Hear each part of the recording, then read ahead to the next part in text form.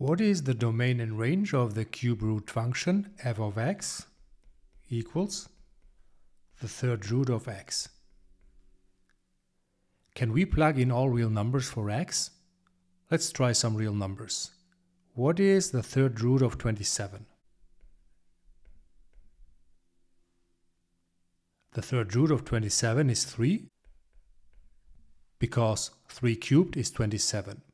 What is the third root of 0? The third root of 0 is 0 because 0 cubed is 0.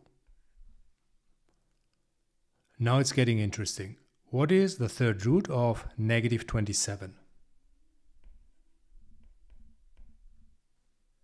The third root of negative 27 is negative 3 because negative 3 cubed is negative 27.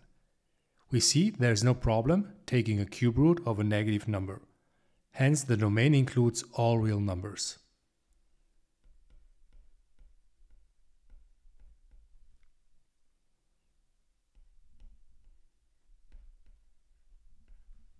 What about the range?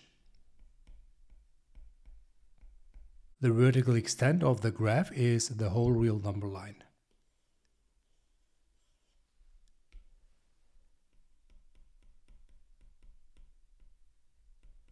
In other words, the range goes from negative infinity to positive infinity.